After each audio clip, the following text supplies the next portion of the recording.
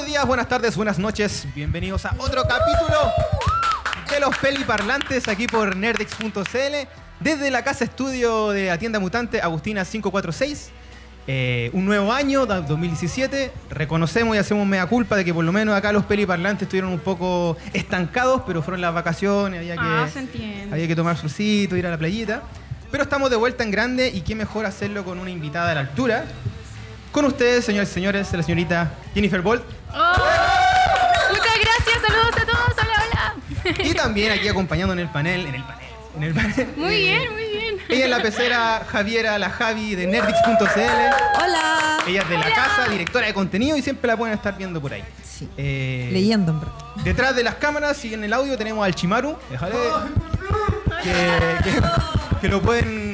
Con el pelado va a estar saliendo prontamente por Etcétera TV, Etcétera TV, perdón, en un pequeño microprograma en Free to Play para que lo ahí estén viendo. Eh, nos estamos emancipando como Nerdix. Y bueno, ya lo habíamos comentado fuera de programa de que estábamos un poco al debe también con la figura femenina, con los personajes, con las mujeres que saben, empoderándose de los temas, de los temas tanto de cultura pop como de cultura nerd. Y teníamos que ser consecuentes a lo que siempre escribimos, así que aquí está señorita Ay, Jennifer. muchísimas gracias, estoy muy contenta por la temporada invitación. Gracias. 2017. Bacán. ¿Cómo estamos? Estamos muy contentas. Es primera vez que vengo y me encanta en realidad hablar de las cosas que vamos a hablar ahora, así que estoy feliz. Sí, esto puede ser una, una suerte de sorpresa porque eh, yo creo que muchos y muchas conocemos a la Jennifer como conductora de programas, eh, pero sobre todo ella es cantante. De hecho, tiene Sí. estudios mega pro de la cuestión. Si uno se puede meter a su página que lanzó hace poco, Sí. jenniferbolt.cl, Punto CL, sí. Donde está todo el detalle de su estudio y de verdad que supera, supera, supera. Gracias.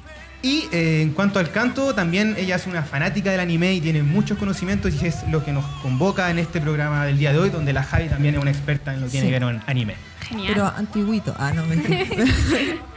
Nos vamos a lo clásico. Genial. Así que, no sé, pues iniciemos quizás con, con esta idea de cómo nace en ti la, la conexión del canto y puntualmente con el anime. ¿Cómo hacemos esa combinación? Mm. Esa combinación nació hace muchísimos años atrás, cuando yo era tan solo una pequeña niña. y allá en el sur de Chile, yo soy de Osorno, había una comunidad que le gustaba mucho el anime. En esa época, muy pocas personas tenían acceso de repente a cómics o también a, películas o esta información. Entonces, gracias a un grupo de universitarios que dijeron, ¿sabes qué? El anime es demasiado bueno, hay que compartirlo. Entonces se consiguieron el Teatro Municipal de Osorno y comenzaron a dar ciclos. Entonces yo comencé a ir, me encantó, eh, ya iba después siempre y comencé también a ver mucho anime. No- Nos contaste fuera también que eh, partiste muy chica en estos siglos, tenías como sexto básico. Sí, sí, en sexto básico alrededor es que nos reuníamos ahí y yo ya estaba trabajando desde muy pequeñita en la música, entonces obviamente cuando empecé a ver estas películas también había una tremenda banda sonora detrás que me gustaba mucho replicar y ahí fue como comencé también a trabajar la música de anime. Lindo. De hecho, nos Sí, acordamos también de los que son un poco más viejitos, contemporáneos. eh, Mayores. Mayores. Eh, pasaba lo mismo con lo que hizo el Salfate en su momento con los ciclos de cine en el Cine Arte Alameda. Donde Sí, a creo que finales de los, de los 90, muchos y muchas nos acercamos a ver películas desde Urotsukidoki, que eran no era para la edad, hasta Dragon Ball Z y todo tipo de No, yo me acuerdo que incluso en el Novedades yo vi. Eh, sí. yo vi Marmalade Boy. ¿En serio? Oh, sí, y se la consiguieron así como transfugamente que te la dan en japonés con subtítulos en inglés. O sea, era como Guau. súper selecto y de repente iban como a ver Es que yo creo que todavía conectamos los tres, por lo menos en, en esa época de que el internet tampoco estaba full con el tema del anime y teníamos Claro. que pasarlo, estaba todavía estaba el VHS, todavía estaba Claro. el CD de, de la película. Claro. Y como que uno se conseguía algo y quería compartirlo al tiro, tengo tal película. Sí, como, ya, vamos a y además eran como instancias sociales, porque uno como se- que se hacía amigos ahí, como no sé, como comentábamos, pas- como fuera de cámara, intercambiaban, qué sé yo, material, conocía gente, Revistas entonces también habían. esperaba y era como era como la cita del, del, Sí. del fin de semana, como juntarse, hacer esas filas, ¿cachai? una comunidad súper bonita que Sí. se mantiene hasta el día de hoy. Oye, y bien cortito, un poco si nos puedes contar de la otra vertiente que tiene que ver con la música, el canto y directamente con el canto lírico y cómo que es súper potente eso. Sí, bueno, eh, a medida que vas conociendo el anime, también te vas preguntando quiénes son las personas que hay detrás, los directores, los compositores. Ay, la música japonesa realmente es muy bonita, entonces empecé a ver ahí mucha música clásica también.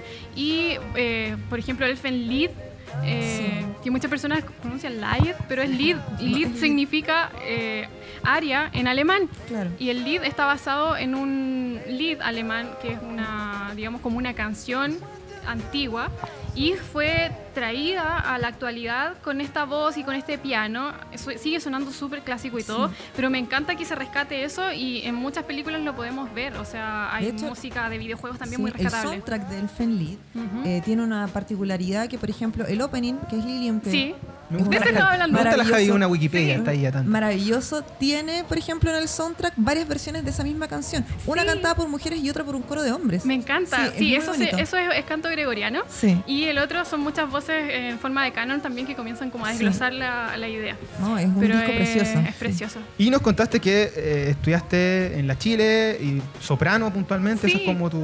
Eso estudié, Tu estudié ópera y después estudié un año de jazz porque me costaba mucho cantar eh, popular o Ya. cantar otra cosa que no sea lírico. Y como me gustaba mucho el anime, de repente necesitaba cantar en japonés, que es mucho más nasal o que es mucho más Claro. eh, una técnica completamente diferente y tuve que estudiar en la Proyas un año de canto para hacer este cambio de voz y lograr cantar. Qué bonita. Hasta que se encontró con un profe pelado. Así como. Eh, y ahí como conectaste directo, uniste como... Sí, ahí fue genial. O sea, bueno, yo creo que más que nada lo que más me sirvió como cantante de anime, de Anisong, es que tuve la oportunidad de que Michael Bradley me escuchara, que es el compositor de Robotech. Y ahí fue que me invitó a cantar Flower of Life y, y yo quedé impresionada porque, para ser sincera, esa canción es muy aguda. Entonces yo le dije... Yes, no hay ningún problema, pero el problema es que está too Vamos, high, vos está muy dale, alta, está muy vos alta. dale. Por favor, podemos bajarlo por lo menos un, un medio tono, un tono, ahí me queda perfecto. Porque yo todavía estaba estudiando y no tenía todavía esa, ca- ese campo que es el extremo de ser soprano bien, Desarro- bien desarrollado. Entonces le dije, para mí es un tremendo riesgo. Y me dijo, yeah, yeah, no hay problema, no hay problema. Y cuando llego al ensayo, está la banda, primera vez que lo veo, y a cantar al tiro, empiezo a cantar.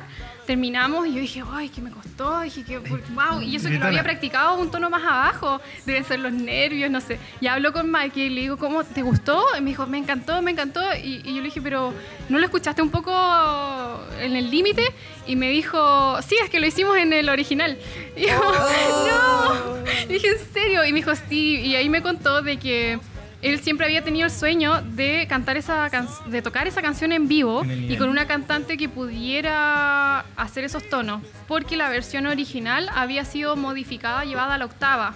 La cantante original no la había cantado en el rango en vivo, entonces no podía cantarla en vivo.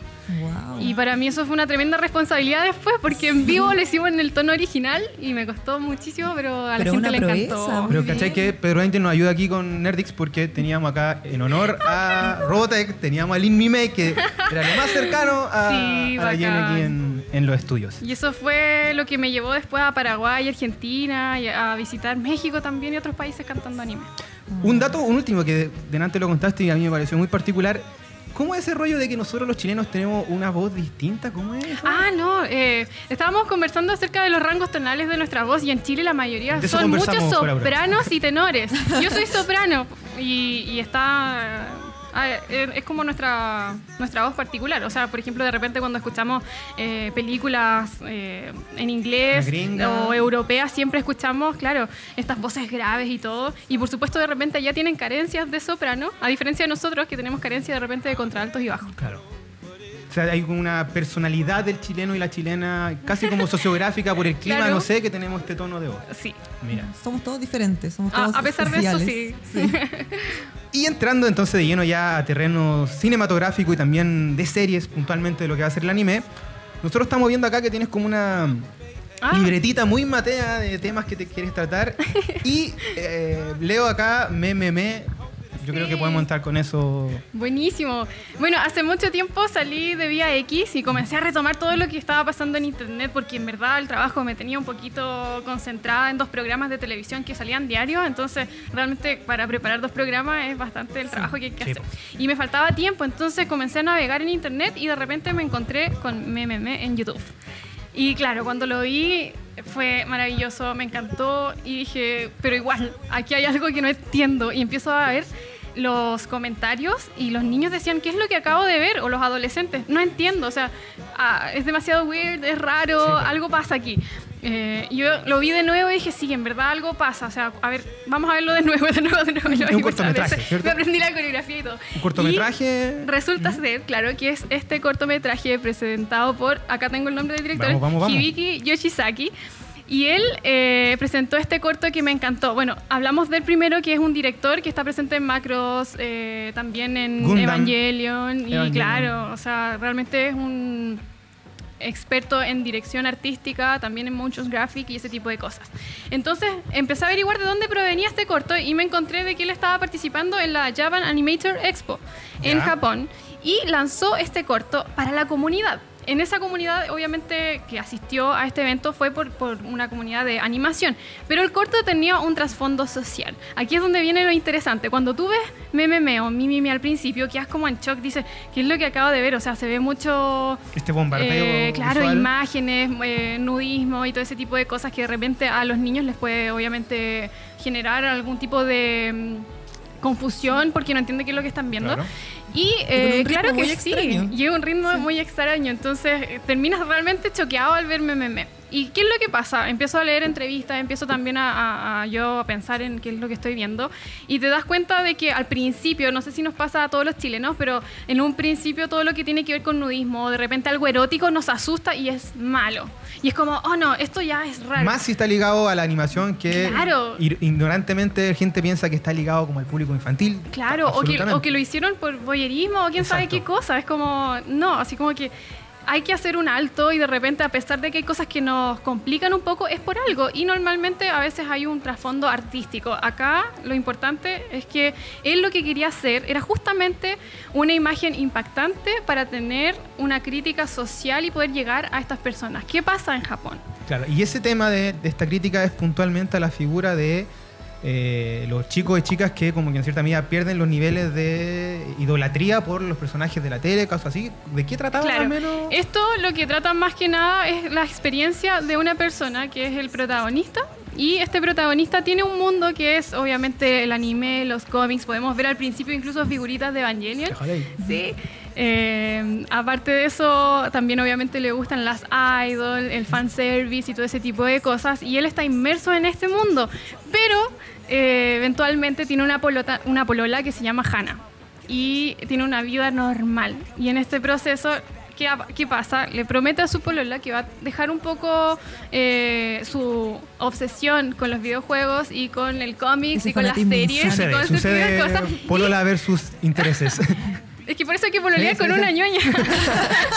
Pero bueno, el problema Hashtag. es que, claro, eh, entonces él dice ya, pero pasa el tiempo y empieza a aburrirse de la relación y por supuesto salen nuevos juegos, salen nuevas series, salen nuevas maratones que quiere ver y comienza a dejar la relación atrás. Esto uno lo puede saber a través de la letra de la canción, porque cuando uno está viendo la imagen no está viendo traducida la, No la par, traducción, no la de la, de la cantante. Entonces, en, en la música está la versión o lo que está diciendo la polola del protagonista que estamos viendo en la imagen. Y con eso ya se entiende mucho más la historia.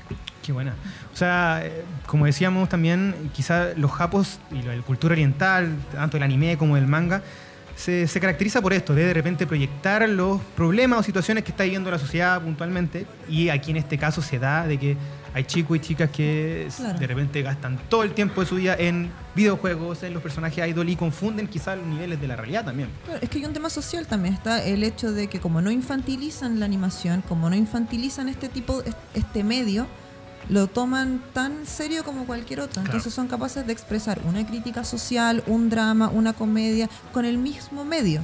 No Claro. es necesario que sean personas para que sea serio, no es necesario que sean eh, humoristas para que sea humor, ¿cachai? Entonces es, es un- una manera súper rica de utilizar algo tan bacán como es la animación. O sea, yo lo encontré demasiado clever, encontré que una obra maestra llegar y opor- eh, eh, ocupar esa oportunidad de esa expo de animación y decir, ¿saben qué? Voy a aprovechar de mostrar este corto, Esto donde está además pasando de hoy por hoy. lucirme audiovisualmente, musicalmente, artísticamente, voy a aprovechar de hacer una crítica social a todas las personas que eh, son un público joven. Obviamente esas imágenes impactantes a los jóvenes los hizo ver meme y querer saber qué es lo que está ocurriendo y obviamente interiorizarse en que el mundo que vive viven en Japón, de repente ellos prefieren tener una vida virtual, una vida de Sí, sí, videojuegos, tener amigos por internet y e- efectivamente no prefieren pololear tal vez o Claro. eh, tener amigos o ir a un lugar y conocer gente, sino que estar jugando en su casa y algunos muchos es un problema real, no quieren ni siquiera estudiar, o sea, Sí, están es jugando. verdad, es verdad. Hay un documental de Herzog, me acordé ahora, que está en internet que, y ahí en Netflix, perdón, donde se ve esta figura de ciertos chicos que van a rehabilitación porque no pueden dejar de jugar. Sí. ¿cachai? Es como Están a mí que, que, no puedo dejar de comer chocolate. De hecho, traje mis galletas. Se comió toda la de chocolate. claro. Eh, no, y también retomando lo que decís tú de quizás la figura de cómo trabaja la cultura del anime, lo que es la sexualidad o la desnudez.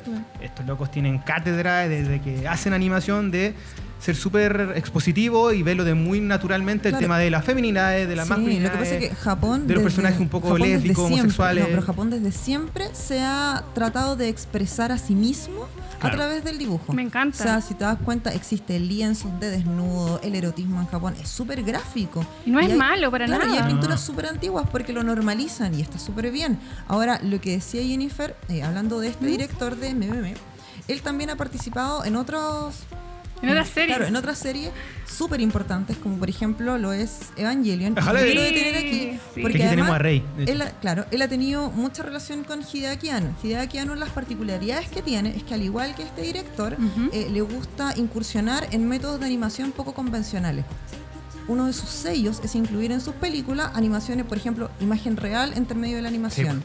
Eh, Wow. otro, y, y es su sello, ¿cachai? Como Claro. poner, no solo, eh, le gustan también los planos como de de edificios o de objetos en particular, un vaso, un colgador, el colgador de ropa en O la sea, terraza es un clásico. O sea, hay un cine de autor netamente Claro. en la animación. ¿cachai? Entonces, Claro.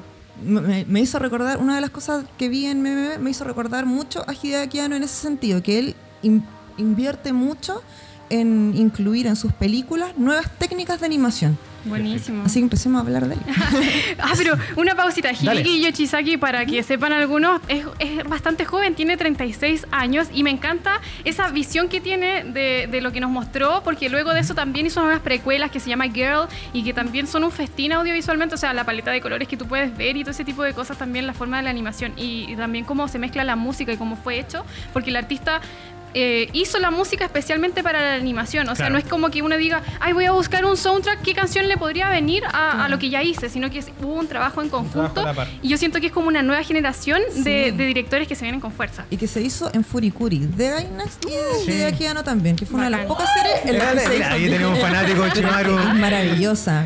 Sí. Furikuri, pillows, cabros. Pillows. Es todo lo que les voy a decir. ¿Qué otra cosa deseas comentar de lo que tenía ahí anotado? Bueno, a propósito de eso, yo siento que el anime siempre nos ha entregado algo que, que mismo Chile o en diferentes... Yo vengo de región, eh, eh, también he recorrido muchas regiones con esto del, del anime, de la música, y ¿saben qué? A pesar de, de que sean diferentes regiones o diferentes países, México, Paraguay y todo, el anime se vive igual, el ambiente de cosplay, la gente que ama todo este tipo de cosas y la comunidad es tan bonita y realmente tan rica artísticamente y también eh, eh, se les abre la mente y el mundo a muchas personas con respecto al yaoi, a qué está ocurriendo con esto, con lo otro, el cross cosplay y todo ese tipo de cosas. O sea, siento que los niños que se crían con, eh, con la cercanía de, de la animación tienen un- una mente muy abierta, libre de, de problemas éticos, de repente. porque, que hay se otra pueden porque teca- te- toca, Sí. perdón, toca tema de sobre el tema de la tolerancia, de la inclusión. Sí, De hecho, yo tengo la suerte de trabajar en la Biblioteca de Santiago, donde nos instalamos como un espacio público y gratuito que desarrolla eventos sobre la comunidad otaku, comiquera, videojuego. Y se, se da mucho lo que decís tú, de que son grupos y, y colectivos súper unificados, muy amenos, muy, Muy cercanos. bonito. Y una cosa muy importante, que también tú veis que hay muchos chicos y chicas que llegan al anime por problemas que son clásicos de la adolescencia, llámese bullying, discriminación, pero encuentran en este, en este consumo cultural o en estos productos un- una cuna que los puede, lo, lo empalma bien y los trabaja de manera de una forma que los represente y se sienten súper cálidos. Y eso Sí. es muy, muy valorable. Es súper bonito. Yo creo que una serie que está al alcance también, no sé si... No sé, yo, yo creo que esta serie, Kill la Kill, ¿la vieron? Sí. Kill la Kill Netflix, ¿no? y MMM. No sé qué opinan ustedes, pero yo siento que, bueno, para mí son obras de arte en este sentido, lo que estábamos comentando recién, que es como una sátira desde el mismo anime, eh, esto de la exposición, del hecho de ver de repente mucho exhibicionismo y todo. Sí, pues, de hecho, Kill la Kill lo que tiene es que visualmente, los primeros, qué sé yo, 10 minutos es como visualmente bien violenta, pero no en el caso, no, no en el sentido de combo y patada, sino que en cuanto a las imágenes que te Sí, po. expone. Y el texto que te mete ahí. Yo la encontré maravillosa también porque eh, simplemente desde el punto de vista de la persona que conoce el anime se puede dar cuenta que, por ejemplo, cada vez que vimos Sailor Moon quisimos ver esas imágenes de claro. exhibicionismo o quedaste así como, pero ¿por qué no un poco más? No, O ese tipo de cosas. Y en esta serie como que te lo muestran todo, ocupando obviamente como lo más estúpido y absurdo.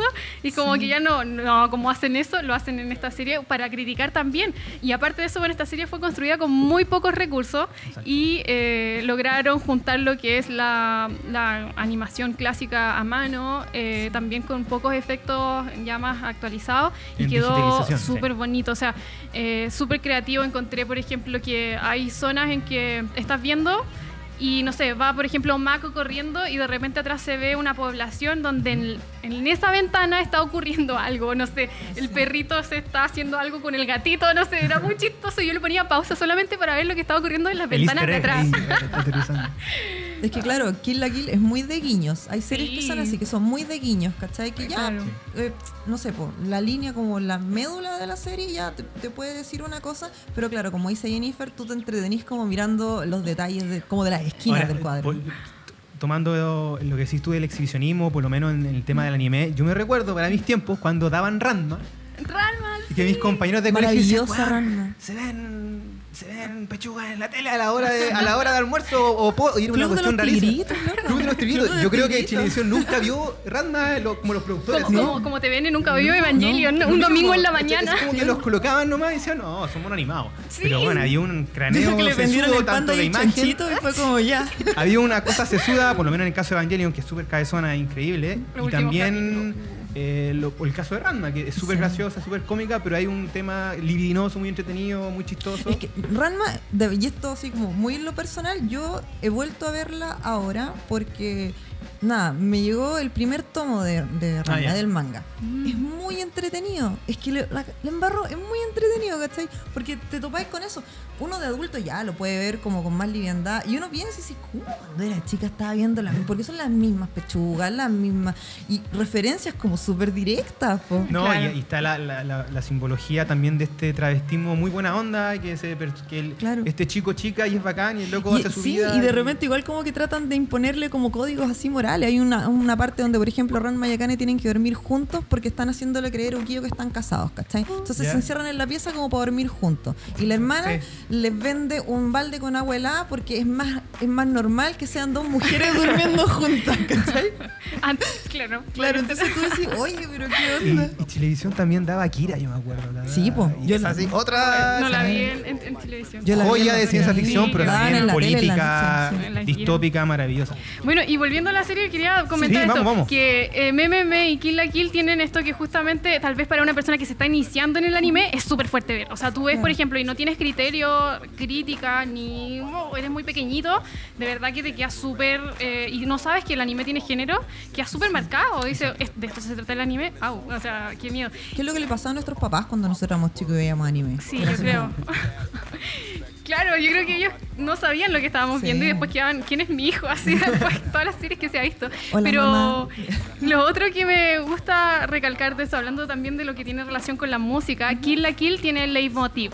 Cada personaje que tú ves dentro de la serie tiene su propia canción y yo creo que el soundtrack de esta serie Una también motor es súper buena.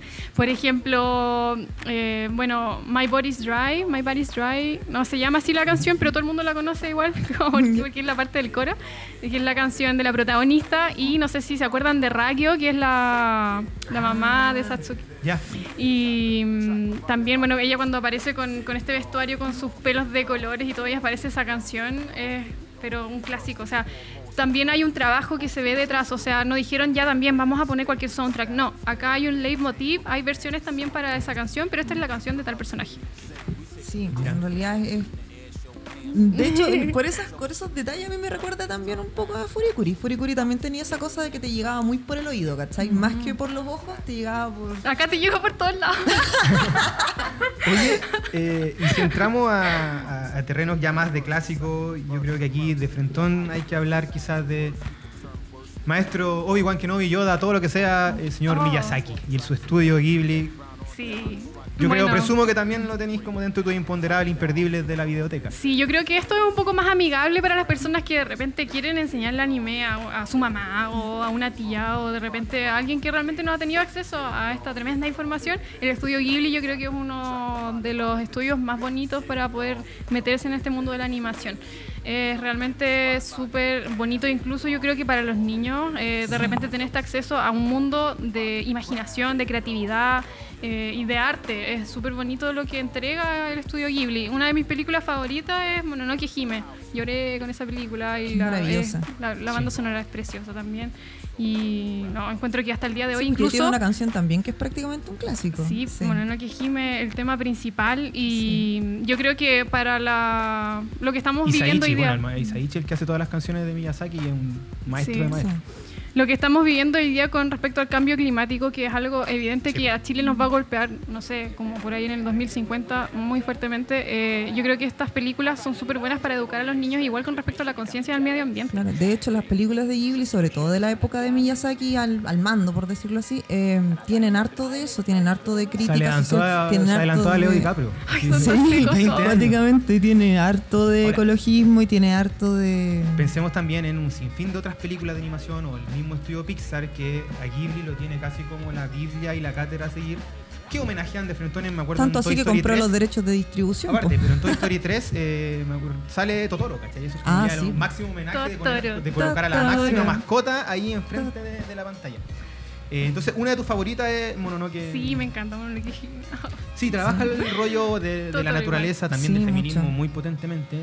Ah, me Es encanta. que y que es Miyazaki como la tiene... escuela de Miyazaki. Lo que pasa es que Miyazaki tiene la opinión de que en cuanto a género, la mujer siempre, no es que sea más fuerte, no, no es que sea más fuerte físicamente que el hombre, sino que posee una fortaleza Exacto. mayor. Entonces es mucho más enriquecedor para él poner a mujeres en estos en ¿Roles? estos roles como donde tienen que salir de un problema porque por su ser mujer se van a ver más fortalecidas. De hecho, deben ser ¿Cachai? muy puntuales los casos donde los personajes son. Es que- que porcorroso puede ser. Y de hecho, un chancho.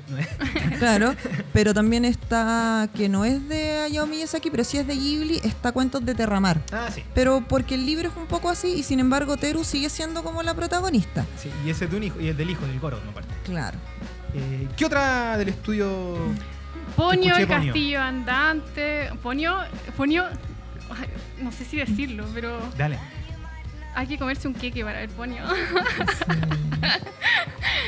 es muy divertida, Sí. es Sí. fantástica. Se puede decir acá de todo, de hecho, el. Sí. Sí. Pelado Izuke, el pelado Izuke que no está en este momento siempre nos apoya, él es el personaje que Pero acaba de hacerse presente. se hace presente con tu comentario yerbístico, que se agradece. Sí. No, genial. Ponio yo la disfruté demasiado con- junto a un queque y luego pasé. Oh, pero es que es muy simpática, a mí me da mucha risa, sí. Sí, es bacán. El Ponyo. castillo ambulante también. Sí, el castillo. Lo El precioso, todo, todo- todos esos mundos que se ven, a mí me gusta mucho la ilustración también, encuentro que son tan mágicos, realmente te Sí. abren otra No, dimensión. el castillo andante además otra cosa. Y es una de las pocas historias de amor que tiene Estudio Ghibli. Claro. Pues sí, es la única, es casi la única pareja que se arma. Y eso es porque está basada en un libro, ¿cachai? me encanta Y también- toda esa película. Pero Sophie hablando- Hole son otra Sí. cosa. Estamos hablando de un estudio que no quiera, no quiere, no se niega un poco a la, a la- al 3D, ¿cachai? Siguen en la 2D Claro. clásica, elaborándose con Sí, la nostalgia, con la melancolía y con la fuerza que requiere este trabajo. Sí, pues imagínate su último trabajo, Marnie, que también estuvo nominada al Oscar el 2016. Sí, sí. Eh, también es la misma técnica de animación, más depurada evidentemente, más, pero lo mismo, los mismos entornos como de playa, los mismos fondos pintados, Yo encuentro se que está agradece. bien Sí, eso. y yo tengo sí. entendido que Miyazaki también trabaja en una línea de no hacer el guion, de que él va haciendo la historia en el momento donde se va dibujando, dirigiendo y filmando. Un loco Wow. un genio, ¿cachai? O sea, Es, es que eso va como relativo a la adaptación. La verdad es que Ghibli, la verdad de Ghibli, no. Es que eh, el grueso de su obra está basado o En cuento, relatos sí. clásicos o en, claro, o en libros. O en otras historias. Pero no, es- no escribe un guion, ¿cachai? No es Claro. como el libreto. eh, no, el tipo va así, punto Es que, por punto. claro, él va como que va, va a la adaptación y el momento de hacer el storyboard es como, mm, ya, es que en esta parte en mi mente se ve como así, así, así. Qué. ¿Qué más no, te gustaría mencionar que, que recomendáis a. Bueno, a en la el audiencia? mundo de la animación y hablando de lo que tiene que ver con música también, una de las series que me gustó mucho fue Macross Frontier, que también pudimos ver a Hibiki, de quien estábamos hablando, el director anterior acá en, en temas de animación. Macross Frontier encuentro que es una película muy bonita, eh, bueno, se trata también de dos cantantes protagonistas, entonces me Claro. siento súper... Identi- súper- quiero cantar, quiero estar en esos lugares, en esos escenarios y me, me fascina esa película. Y o sea, también los Dentro del la serie en sí. entorno eh, macros, como que es casi como una línea paralela de historia, como que Claro. escapa al, al- al Es clásico fundamento de lo que tiene que ver en macro, de, de los extraterrestres, etcétera, etcétera, y aquí te desarrolla la figura de estos cantantes, y eso es Sí, sí, eh, me gustó mucho esa película. eh, eso también me llevó de repente a querer estudiar un poco más de popular porque acá la voz de estas dos protagonistas, Ranka y Cheryl, eh, cantan súper bien y, claro, quería cantar las canciones y a veces no podía, entonces dije, ya, tengo que hacer algo, todo me sale lírico. ¿Cómo, cómo lo haces con el idioma? A- ¿El idioma? Del, de- de los- del registro, ¿cómo trabajas el idioma? El idioma, bueno, gracias a Dios existe la posibilidad de poder traducir. Hay muchas personas incluso que cercanos míos que hablan japonés, entonces a pesar de que uno tal vez está viendo la serie y no sabe japonés, ya después hay muchas palabras que comienzan a, a hacerte sentido, ya después las conoces. El japonés es un poco más sencillo con respecto a, a lo que pasa también con la conju- conjugación de los verbos, entonces después de tanto rato igual hay muchas palabras que uno conoce y empiezas a a traducir eso. O sea, yo siempre me hago un trabajo de traducción para saber lo que estoy cantando y saber cómo interpretarlo después. Porque, claro, uno puede El estar cantando en acento. japonés algo terrible y estás muerto de la risa. Hay un tema del acento, como del, del cariz, del, del, del tono. Sí, y Es que uno tiene que saber qué es lo que está diciendo. Sí, ese es- hace muchos años atrás tuve la suerte de telonear a Koji Wada Déjalo. Y él me dijo que tenía un sonido del japonés bastante bueno en la fonética. Me preguntó si había estudiado japonés, le dije que no, pero bueno, el oído, o sea, las series de animación y todo eso de verdad te ayudan Y sobre bastante. todo el oído musical, yo creo Sí. que es una herramienta, o sea, para ti es un plus súper importante. Claro, pero a pesar de eso, el japonés no es tan diferente al español en cuanto a la fonética. Claro. Es muy, o sea, nosotros muchas... Sí, pues efectivamente nosotros, Nos hace nosotros mucho los que sentido. hablamos español es mucho más fácil pronunciarlo que para la gente que eh, habla francés, por o en ejemplo. inglés sobre todo. Pobrecito, sí. Porque lo, lo- todo lo hacen así. Claro. sí. Estoy Kokoro. Super. Kokoro, sí. Kokoro. Super Sapo, estoy leyendo ahí, dice Ghost in the Shield. Yo creo que aquí podemos entrar también a, a otras locaciones de conversación, particularmente con el, anime, con el anime y quizás con esta futura película que ya no queda nada, semanas. Sí. ¿Qué No genera en ti Ghost in the Shell? Ghost in the Shell es súper importante porque considero que es como ha pasado muchas veces con el cine estadounidense. No me gusta decir americano porque siento que América somos No, muchos países. todo. Sí, entonces el cine estadounidense siempre rescata películas y muchas personas que no conocen lo que es eh, el mundo de la, de la animación o de los videojuegos, de repente ve por primera vez algo ahí. Yo cada vez que veo de repente una película de superhéroes o una nueva película o una nueva trama, digo, "Mm, esto ya lo vi antes Sí. y lo vi mucho mejor. Entonces, siento un poco de, no sé, como que... Espero de todo corazón que le vaya muy bien a la película y que logren Está ahí- hay, sospecha ahí. o sea, que logren reticente. generar eh, algo bueno para las expectativas de los fanáticos. Eh, Ghost in the Shell ha servido muchísimo, por ejemplo, para grandes películas como fue Matrix. Exacto. Matrix se basó muchísimo en escenas, incluso en el opening. eh, Ghost in the Shell también ah, partió como... Me gusta, porque es una de esas franquicias o series que comienzan desde un cómics, después pasan a hacer una película, después pasan a LOA, después incluso eh, comienzan a, a Historias paralelas. también. Claro, o sea, a lo largo de los años nunca hemos visto que quedó ahí, como de repente pasa con Evangelion, que todavía estamos esperando respuestas y, y que va a salir y que va a salir. Claro, eh, No, y, y lo peor es que Hideaki me dijo, me voy a poner a trabar en Evangelion y Voy a- sacó Godzilla. Voy a, voy a fue traducirla, voy a hermoso. traducirla. claro que sí. Entonces, estas eh, Ghost in the Shell no ocurrió eso, sino que han ido desarrollándose y ahora. Wow, o sea, ¿qué vamos a ver? No lo sé. Eh, con respecto a la música, acá nuevamente aparece Yoko Kano, que también estuvo en Gundam. Yoko Kano tiene alrededor de 51 años, una compositora autodidacta. Sí. Y ella es increíble. O sea, también hizo la música de Macross Frontier. Y de muchas Yoko Kano es un más. tesoro Sí, en mira, Japón aquí y anoté para el mundo. porque se me olvidan, ¿Tú pero acordáis? Casi ca- buscáis más que nada compositores y de ahí vais manejando a... Eh, tengo, es que es como pasa de todo, porque sigo a muchos compositores, me gusta Yoko Kano, Yuki Gayura, y de repente, claro, estoy bien, su- siempre estoy viendo sus páginas web, qué es lo que están trabajando, y de repente dice una serie nueva, Y ahí y ahí entro y la veo.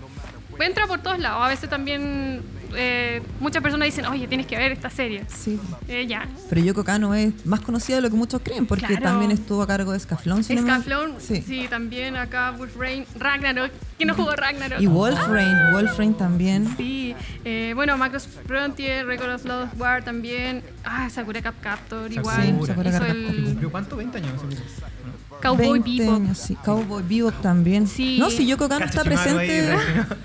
Sí, Watanabe. yo la anoté para que no se me olvidaran, pero son millones de series súper importantes y ella... El, el opening está hablando La que serie, Chimaru- o sea, el soundtrack completo está inspirado en el jazz y yo encuentro que Y está Yoko Kano súper es bueno. súper bacán porque, si se dan cuenta, a ver, Escaflón, Evangelion, Cowboy Bebop, son series súper diferentes. Y ella, Claro. ha puesto- y ella ha puesto su Bueno. sello y las ha hecho particulares. Macros Cowboy. Bebop estaba de Watanabe en dirección, Ujú. que también tiene una serie que pasó muy piola, y lo dieron en su momento en Cartoon Network que se llama Samurai Champloo. Sí. Samurai 20 Champloo episodios. Es buenísimo. Cortita. Y tiene una cuestión muy chula que lo que decís tú, que quizás si Cowboy Bebop conecta con el jazz, Samurai Champloo conecta con el rap. Entonces estamos hablando Es de una, de una Sí. serie que tiene que ver con la cultura Edo, de puro samurai, pero que va ligado al rap. Entonces tú veías tipo pegándose su- sus tajos con rap de fondo. Y los mismos personajes tienen como tatuajes, tienen aros, tienen expansores y como que mezcla lo- la realidad, por decirlo así. Es que una de las Muy, cosas muy bacanes de los japoneses es que se atreven. Siempre se atreven. Da lo mismo si es uno va hacia una película, si- siempre se atreven. Entonces, es como ahí que se genera el chiste de que en Japón todo es normal, ¿cachai? Bueno, ella es compositora, es mujer, ya transgrede muchas cosas con solo decir que es autodidacta y como dices tú, pasó del rap, pasó del jazz a lo clásico, es súper buena. Y ella, ella participó en Ghost in the Shell en los principios y me da mucha pena que para esta película no No esté. consideraron. claro, aparte de eso, bueno, ella trabajó con Origa, que es una cantante de otro país que estuvo mucho tiempo en Japón, gracias a ella se hizo muy conocida. Lamentablemente falleció el año pasado a los 40 años, era súper joven, una voz increíble que justamente tenía esta mezcla entre pop y lírico y unos sonidos guturales o étnicos súper bonitos que eh, podíamos escuchar en Inner Universe de Ghost in the Shell. Ella falleció el año pasado, me dio mucha pena. Y, mm, y claro, digo, ¿por qué no rescatan esa esencia? O sea, ahora, claro, voy a escuchar a otro compositor, no sé qué es lo- a lo Mira. que, el ambiente que logre generar, si va a Ahí- poder rescatar eso. estáis tocando una tecla muy particular porque yo con la Javi quizás cuando vimos el tráiler nos fascinamos desde lo visual porque visualmente estáis viendo el Sí, anime po. ¿cachai? Mm. Y tenía un guiño a la música de Yoko Kano, de todas y por maneras. ver un tráiler ya hay como un medio guiño también Ahora yo frente a eh, lo que decís tú tengo una teoría, está pero... la canción de Depeche Mode de fondo Sí, pero eh, termina. pero yo no había visto lo que tú te fijáis que tiene que ver netamente con esta con, con la autora musical de fondo ¿cachai? Claro.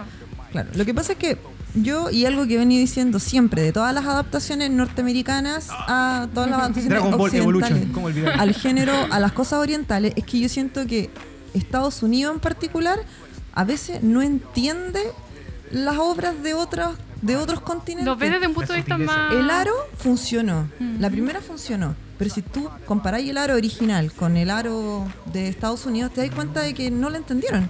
Con Ghost in the Shell es muy probable que funcione. Es muy probable que sea una película exitosísima. Y hay una, hay una sola cosa que entendieron.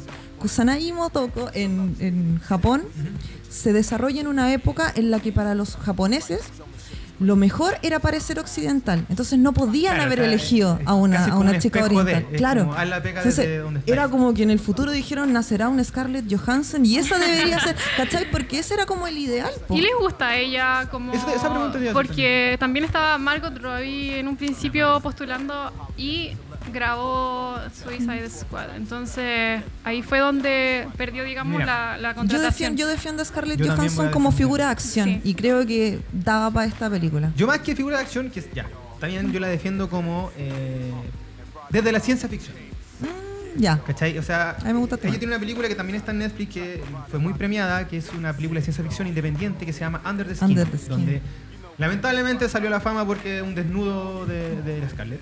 Y eso, en eso, todos se quedaron en eso, cuando en verdad es una historia muy potente, intimista y súper fuerte de ciencia ficción. Sí, como que ya tranquilos Sí. con los desnudos. Pero ella, eh, como decís tú, es héroe de acción, Black Sí. Widow en Marvel, Lucy con Luke Besson. Sí. Ahora entra con Ghost in the Shield y yo creo que de frentón ella se entabla como una actriz súper versátil y para mí a nivel de muy a priori, yo creo que va a funcionar por lo menos en este personaje. Sí. Sí, yo Tú que- Margot, ¿o ¿no? Ah, la verdad no sé, es que la he visto tantas veces que a veces me gustaría ver algo nuevo y más... No. De todas maneras que es una gran actriz y lo va a hacer súper bien, es muy guapísima. Yo creo que va a y- funcionar, ¿cachai? Lo que pasa está eso, que yo no, no voy a ver la. No, no voy a que me genere las mismas sensaciones que me generó esta película Claro. oriental, que tiene una crítica social poderosísima, que tiene que ver, que tiene, guarda mucho, mucha relación con cómo se ven los japoneses a sí mismos. Las películas japonesas tienen una cosa maravillosa, que es como de hacer que uno se cuestione a sí mismo cuando las ve. Sí. Y eso es lo que hace que te gusten. Sí. Ahora, ¿tú, tú cachai que si le llega a ir Y ese bien- discurso a Estados si Unidos no lo tiene. a Ghost in the Shell, eh, nos abre las puertas quizás a los fanáticos y las fanáticas de ver en un futuro a Akira también, que es Estaba pensando en eterna eso esperada- y temo. No, o también temo. aquí al personaje de Rick Hunter también en una película, ¿cachai? Robotech temo más. también es como un, un aldebe que siempre ha estado a nivel de cinematográfico. Yo me Claro. acuerdo que Tobey Maguire en su momento, cuando él termina de hacer Spider-Man, él dice al tiro, loco, hagamos Robotech, porque bueno es fanático de Robotech. Y él- yo creo que hasta ahora quiere ser Rick Hunter independiente de que tenga 50 años, va a siempre ser el Rick Hunter. Algo se puede hacer Algo igual. se puede hacer, digitalmente ya Sí. se puede ver joven a cualquiera. Claro. Eh, ¿Qué otra? Ahora también tengo entendido que viene el live action de de eh, Full Metal Alchemist. Wow. La música de Full Metal Alchemist también es un clásico. ¿Se fija la música? No, pero sí, el campo de ella. Yo lo encuentro maravilloso porque como, gracias por, gracias por. ¿Hay películas que te matan netamente por la música? Es que encuentro que es un todo. Yo cuando veo algo me fijo eh, en todo. Me fijo en lo audiovisual, en los dibujos, el arte, la música. No, para mí algo está bien hecho cuando todo conjuga. Porque con Chimaru también tenemos como una teoría de que hay películas que de verdad funcionan casi por la pura música. Claro. Una de, a nivel nerd para hablar, es Troll, perdón, Tron 2, Tron Legacy, con Daft Punk de fondo, que es una película que si tú no tuviera Daft Punk de fondo no, no se sostiene quizás en historia y todo. Es que claro, Puede hay ser, una cosa que es sí. como banda sonora, que son las canciones utilizadas para la película, y otra muy distinta que es el score, que yo creo que es lo que se, lo que se fija más la Jennifer, que es como la música que va detrás, la que Exacto, acompaña las escenas, Es ¿cachai? música ambiental. Y eso eh, yo creo que Japón nos lleva por No. nos- Asia en general. Que claro, ellos toman en cuenta cada detalle, todos los ingredientes, digamos, Y para que hacer que el espectador de todos los sentidos disfrute Sí, la- y hacen el de todo, y, y hacen de todo, ¿cachai? Una, de alguna manera hacen que la música te convierte, te, te transmita más cosas. A ver, Akira, si, si tú pescáis el soundtrack de Akira, Sí. te incomoda igual que cuando ve- Y son puro ruido. Yo me acuerdo que cuando era súper chica, mi prima lo tenía. ¡Oh! y yo se lo quería puro pedir. Y me decía, pero si para qué lo querís, toma, si son puros tarros, toma, de verdad. Si son Claro. puros fierros. Y yo lo escuchaba y era así como, ya, son puros fierros, pero te, te te quedabas así, te quedabas con la garganta ahí tomada porque era acuático. O sea, sin ir más lejos, esta polerita que pueden encontrar en Mutante Tienda. Agustina, Creo que 5 fue la última, eso sí, van a volver.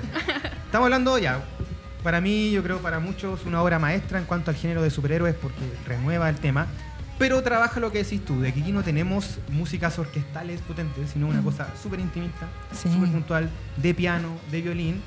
Y en cuanto a banda sonora, tenemos a Johnny Cash y puras figuras del vaquero. O sea, al final esta película es un western. ¿Estás hablando de Logan? Logan. Eh, ¿De la música de Logan? La música de Logan. La hizo Marco, Marco Beltrami. Exacto. Sí, y él es conocido por hacer la película también de Resident Evil. Y su expertise es generar eh, como expectación Exacto. y un poco de intriga y Pero esas que es lo cosas. choro, que aquí el tipo toca otra línea que Sí. tiene que ver con un rollo más personal, Sí, po. Más emotivo, íntimo. más íntimo. Se sale de su zona cómoda y se nota. Claro, Sí. que ya- ya no es la acción, no es el pa, pa, no. Claro. Aquí es otra, es otro el corte, más, mucho más real y eso obviamente se agradece. Para mí uno de los puntos altos, además de todo lo que vale Logan, eh, tiene que ver con, con la música. Genial. ¿Qué más? ¿Qué otros temitas va- Oh, todo. A ver, eh, a mí, no sé si eh, tienen algún de repente estudio que les guste mucho de anime. A mí me gusta mucho lo que fue y lo que ha hecho Clamp. Soy muy fan de Clamp. A mí me gusta mucho dibujar harto anime, sí. Eh, y los cómics de Clamp, en especial Clover en un principio, Choice y Clover, la serie se hizo un corto de Clover de cuatro minutos, si no me equivoco, donde se trató de sintetizar todo el manga en un... Cuatro minutos. En cuatro minutos, ¿cachai? Te lo muestran como con una canción y se, se sintetiza como lo más importante con una animación y es precioso. Es calcado al, Sí, al- y, al es cómic. como- y, y te deja con muchas ganas, esa cuestión no es un Sí, corto, es como un queremos ver todo, Sí. claro. Sí, yo encuentro que Clamp, eh, estábamos comenzando a hablar de eso antes de, de partir, y que está hecho por al principio eran 12 mujeres, ahora quedan claro. cuatro chicas. Y obviamente se nota el lado femenino eh, en los detalles. Está también el trabajo de Sakura Cap Captor, eh, Tsubasa Chronicles. que- Al principio como en la feminización del, del, del aspecto de los personajes masculinos, Me porque son muy estilizados y muy feminizados. Sí. Y eso antes era súper innovador, ¿cachai? Porque antes teníamos este puño de la estrella del norte, teníamos estos machos, machos pesados, y de repente llega Clamp con estos camuy así como alargados. Yukito. Yukitos maravillosos, ¿cachai? Con alas, claro. todo angelical. Sin ir más lejos, igual tenemos que eh, eh, hacer énfasis que desde las series que son series muy antiguas, también siempre hay una figura masculina femenina. Yo me acuerdo que en. Robotech también está este cantante, no me acuerdo el nombre, este de pelo Sí. rosado. En el caso de Sailor Moon lo mismo, están estas dos chicas que son pareja, que también tienen una cosa muy masculina. Pero lo que dicen ustedes, obviamente, aquí este estudio entra de frentón a trabajar el tema. Claro, lo que pasa es que todos todo los líneas, eh, claro, guarda mucha relación que hay algún personaje que tanto su carácter como su comportamiento, Clamp lo hace con todos, todos los personajes, hasta el más rudo, ¿cachai? Es así muy hermoso, muy y con esta con este dibujo como con flores y plumas al- alrededor. Yo encuentro precioso todo el trabajo de Clamp, en especial cuando uno es niña y, y esas cosas te Sí. gustan. El tema de, no sé, las- eh, hay muchos animalitos o criaturas que son como tu mascota ideal. ¿Alguna vez Sí, pensaste, pues y soñaste en tener las un moconas, las moconas eran brígidas. Mocona, sí. claro. O sea, yo cuando era chica decía, por favor, quiero encontrarme eso O sea, en yo la le tuve calle. que comprar a mi hija ahora una mocona. ¿En serio? Sí, una blanca y otra negra y como que las quería Oh. para mí, ¿cachai? Voy a mencionar eh, algo- un alto también un detalle súper extra programa. eh, por ahí anda dando vueltas la hija mayor de la Javi, la Sí, Anto, besito que para cuando mi vio Anto. a la Jenny, ¿qué dijo? Por su cabello. Me dijo, mamá, mira su pelo, ella es como Miku. No. y yo vengo y aparezco con esto. Que La invité al programa. Mira, Y trajimos a Miku. ya, conversan de Miku. Mico. Hablemos de Miku, hablemos Miku este una último 31. minuto nos Ya. va quedando. Bueno, Miku a mí también me gusta muchísimo, por eso tengo el color de pelo también de Bulma, de Jinx. es muy divertido porque cada vez que me cambio el color de pelo comienzan a decirme, ¿Por qué? ¿Te lo, te lo hiciste por tal personaje? ¿Te lo hiciste por tal personaje? Y es como, o sea, me gusta, pero hay muchos personajes que sí, obviamente no sí son el referente, es como el. Claro. ya. Y bueno, antes tenía rosado y ahora me teñí este color y de verdad me siento muy Miku. Eh, Miku ha sido uno de los personajes más importantes igual dentro de mi carrera. Miku es una de las idols más importantes de Japón, Y tiene una particularidad importantísima, que es que, que es Vocaloid. sí, es Vocaloid, Claro. es virtual. Es Miku- virtual. Ah. Miku no, no es un ser corpóreo, y sin Claro. embargo es famosa, tiene, tiene redes, tiene Ha sido- seguidores, contesta, da entrevistas, hace conciertos, Es genial. pero Miku- no tiene... Y no como muchas cosas que hemos visto, eh, ocurre lo mismo. O sea, ellos usaron una tecnología con Miku para poder llegar a todos sus seguidores, llenar estadios, incluso más que Sí. los mismos idols de carne y hueso. Y Miku lo hizo antes. Y luego viene Gorilas y lanza Sí. esta misma tecnología. Y todos dicen, oh, que seco Gorilas. Y es como, hey, no, otra Sí, vez, sí. lo vimos primero en Japón. Sí. Y yo todo el mundo, no conocen a Miku, esto lo vimos Sí, antes con Miku. Y la gente me decía, no, si Gorilas fue el primero. Y yo, No, sí, Mi- Miku incursionó incluso en el tema del- de la tecnología para producir hologramas. O sea, Claro. todos estos Alerta, hologramas. Esto hay que aprovecharlo porque en, en un futuro no voy a estar yo acá ni usted. Va a haber claramente también unos personajes. Claro. holograma, para allá va la cosa. Yo soy un holograma. Ah, Claro. no. Miku. Sí, no, Miku. Bueno, y esta Miku me la regaló un niño, se llama Elías. En algún concierto de anime llegó, no me acuerdo cuál de todos, y me regaló esta Miku. Por eso no se la puedo regalar a tu bebé, lo No, siento no, mucho. no, tranquila, tranquila. No, pero siempre hace lo mismo. Yo a alguien le pide el regalo. Oh. Chimaru, nos está haciendo el gesto técnico de que ya vamos hay que ir cerrando. Eh, palabra al cierre, quizás, Jenny. Sí, ¿qué fue pero antes-? Ya, Pero antes también tiene una sorpresa. Eh. Un poco loca, pero como hablamos mucho de anime, no podemos hacer Estados Unidos. Oh, ¿vamos a hacer Ariana Grande todos? Ya. Me encantó. No, pero lo vimos antes en el anime. ¿Así? Así, muy kawaii. Está bien. Soy un ¿Sí? me complica. Dale, no, sí. Ya, buenísimo. Eh, ¿Cómo fue? Primero, ¿cómo fue la experiencia en nerdix.cl aquí en los peliparlantes? ¿Te gustó? Me encantó, lo pasé genial. El Nerdix fue una de las mejores experiencias que he tenido. Por fin me pude desahogar y hablar un poco de anime. Me encanta esto, Sí. así que cuando quieran chiquillos me invitan nomás. Bacán. ¿Qué cosas se vienen un poco para la gente que te sigue, tu web, etcétera, etcétera? Mm, se vienen muchísimas cosas. Sí, estoy retomando un poco más lo que es el canto, por supuesto, con muchas ganas de cantar anime y todo lo que tiene que ver con videojuegos. Así que estoy trabajando por ahí. También estoy trabajando un single, eh, un EP en verdad popular para lanzar y tener videos videoclips propios. Eh, y bueno, hay hartos proyectos también con YouTube. Estoy subiendo videos todas las semanas, también de anime, covers, así que Entonces, desde ya que sigan la web de, de la. Jenny y también el YouTube. Javi, ¿qué, ¿cómo fue su experiencia? Nuevamente aquí está en los peliparlantes. Eh, nada, un placer. La Jenny. Un descubrimiento. Un descubrimiento, está- está un descubrimiento. Yo la conocí, la quiero. Oh, gracias. Y nada, un gusto y puto un agrado también poder hablar de anime y es bueno desahogarse Sí. y hablar de. Esto da para mucho, así que podemos replicar el programa. De hecho, Nos están pidiendo que cortemos, de hecho. No. Suelta el micrófono, sí. No, siempre hacen lo mismo. ¿Y qué Eso pasa cuando hay mujeres en el se lugar. estrena. Bueno, esta semana. Mira, me voy. se estrena esta semana. Transporting 2, que ya la vimos con el Chimaru, está muy Kong. entretenida, está interesante, harta nostalgia. Vayan a verla. Y también Kong, para que también. Con la calavera. Isla Calavera. Por- Por allá el Milla está feliz de verla. También una película muy interesante que quizás trabaja el código de la guerra desde Vietnam con este monstruo.